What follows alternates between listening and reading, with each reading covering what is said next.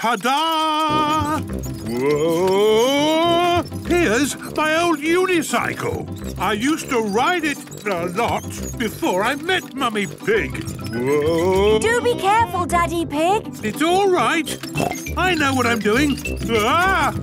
Where are the brakes? Ah! Ta-da!